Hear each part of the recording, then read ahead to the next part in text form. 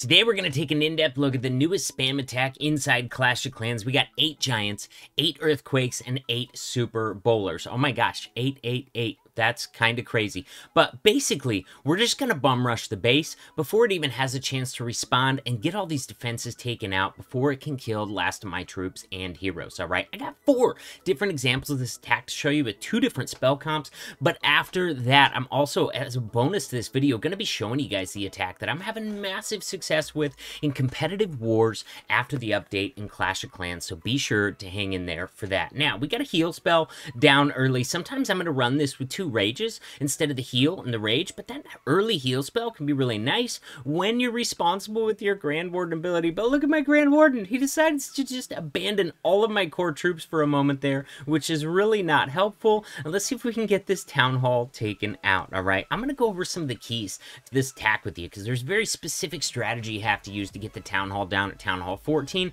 that's way different than it is at Town Hall 13, all right? The blast is bigger, the damage is more, and of course, that poison poison spell, even after that town hall goes down, will kill so many, if not all of your troops after the fact. It'll kill your pets, it'll kill your heroes, so you really have to be careful and plan how you're going to get that town hall down. And in the next attack, I'm going to show you exactly how we do that. Now check this out, man. We got a queen. No, we don't have a queen. We have a royal champion left. We got super bowlers left. We still have the royal champion ability. The king is full health. He's got a whole pack of barbarians moving around the outside. We'll just pop that Royal Champion ability. She's going to be able to take out this last multi there for a nice, easy triple. All right, guys, here we have a little bit different base style, a lot more spread out there. Now, we're going to use the log launcher and the earthquakes to get that town hall either down before the troops even get there or on its very last sliver of life, so it's easy for the rest of our troops and heroes to take out. Now, on this one, we had a nice, easy funnel because we don't have any second layer defenses for funneling purposes here. The walls are empty, so as long as we funnel the outer buildings, the rest of the troops are going to go in because the bowlers can't reach that stuff on the outside of the wall. Look at those bowlers all perfectly funneling in there. We got a nice early heal spell down. That's going to cover the area where all the bowlers and giants are entering the base. Then we're going to pop that Grand Warden ability, keep all those troops invincible, and look at the quakes. We not only opened up the wall, but we made sure to get the town hall down to half damage. Before the troops even got in there, combine that with the logs from the log launcher, and once again, that's either going to take the town hall down completely or get it on its very last sliver of health. That's why we're using the log launcher with this army at Town Hall 14 compared to the siege barracks that we used with it, this sort of army at Town Hall 13, all right? The Grand Warden ability can protect your troops from that Town Hall blast and that Town Hall damage coming up to it, but they can't protect your troops from that and the Poison Spell after the fact, all right? That Town Hall blast and Poison Spell combined will annihilate your troops if you let it. Look how many Super Bowlers we got left here coming through the backside of the base. We managed to hold on to that freeze spell because we see this single target Inferno and Scatter Shot combo on the backside. That's a massive freeze value sitting that that close to each other, but look at this. With the Queen ability, we're not even going to need that freeze spell. We had it if we needed it, but we didn't need it. So on this one, I'm either going to swag that freeze completely, or more likely, knowing me, because I have like zero patience, I'm just going to pop this Royal Champion ability, not because I needed to for the triple, but just because I want to end this attack that much sooner, because at this point, I already know it's a triple.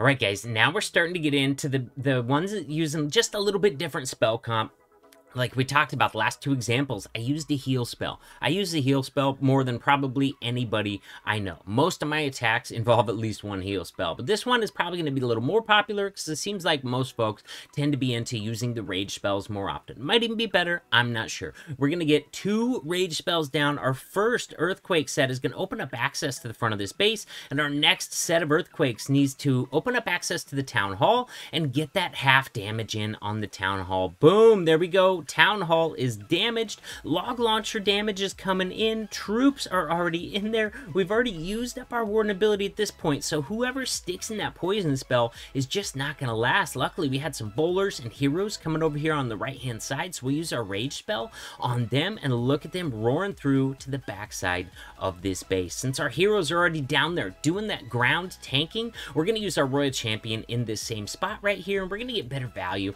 out of her because of it. Look at that scatter shot shot was focused on the other heroes. Just now, it finally decides to target my royal champion. And look at my look at my dog right there, dude. Robot dog is stuck on a storage instead of continuing to move the royal champion. There we go. Finally, robot's going with the royal champion again. Does its job. Gets targeted first by the single target inferno. That's gonna allow me to get a free spell down and maybe get this single taken out. That can be huge because that's gonna allow me to save my queen ability for longer. All right. Otherwise, single target inferno, you're gonna have to pop your queen ability there for sure. And then if you deal with any other heroes after that, your queen might die with just a unicorn on her. But look at this, man. We got the Royal Champion. We got a couple point defenses left over here. We're going to be able to pop this ability to take out this Royal Champion, no problem. This attack is super fast, by the way. So at this point in the attack, we still had like a minute and 30 seconds left, all right? Maybe even two minutes left. These are two-minute attacks. So if you end up with a queen alive with just some cleanup to do, if you got over a minute left to do that cleanup, most of the time,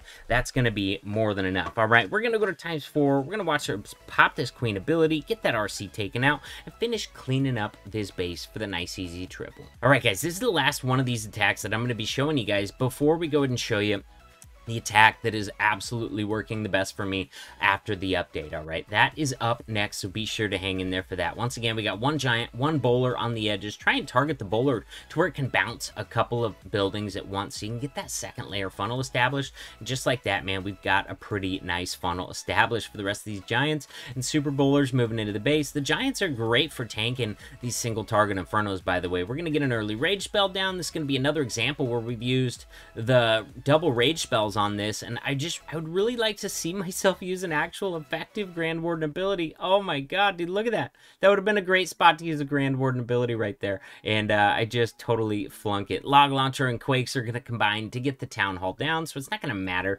that much, but, again, I mean, I guess we still have a Grand Warden ability left for the Scattershot damage over here. We only had, like, two Super Bowlers left, though, dude. My Grand Warden abilities have been atrocious, and here's why. I'm not sitting down, warmed up, ready for these attacks attacks. I'm grabbing my tablet first thing in the morning, uh, or maybe at night before bed, and I'm doing like two Legends attacks per day, or two looting attacks at all per day. Um, and so when I just kind of go on and throw up an attack, I'm usually pretty rusty. That's why before all my war attacks, I'm hitting FCs in clan to get in the mode, get in the groove. I don't know. Do you guys need to get in the groove too, where you're, you're where you're really on the money with your attacks, or can you just pick up your device and play perfect every time? All right, guys, here we go. If you're familiar with my channel, you're going to be familiar with this attack. Let's see how it works out. First of all, we got a big golem with the wall breaker, king, queen over here. Their job is to take out the scatter shot, the king, and the queen. All right, that's going to open up this area over here with no heroes for me to use skeletons to tank for my royal champion. Since we don't have any multis over there, the skeletons are going to be a really, really effective at tanking like this ground bow, this Grand Warden platform that would otherwise kill my royal champion really, really fast. We use a single dragon with the loon down here on the left to go ahead and funnel for the rest of the dragons and dragon riders coming into this multi-target inferno. And look at like i mentioned man i love using the heal even with air armies. That's going to keep my troops topped up as much of them back up on full health as possible while we get this multi-target inferno down and go into the core of this base. It's also going to allow me to save my grand warden ability for right here. I could have saved it a little bit longer because the warden was moving with that blimp really nicely. Now we get get into the area where I'm in a little bit of trouble because I was rusty for this attack, all right? I got this attack down good, but, but the week before this attack, I really hadn't clashed much at all. Like I said, one or two quick attacks per day, and when I get rusty, I get rusty, and it shows. My normal modus operandi for this attack is just freezing that town hall as soon as the blimp gets there. I'm expecting the tornado trap, and I don't care. I'm going to freeze that town hall immediately so I can wait out the blimp. On this one, I failed to do that, and you're going to see why that's a big deal. I get the rage down, and then I start freezing, dropping skelly spells to keep my queen and royal champion alive, which is important but not as important as getting the town hall down, all right? so here, I finally get a freeze down on the town hall, but it's too late. All my loons are dead. We use another freeze. We're panic dropping spells on the town hall at this point.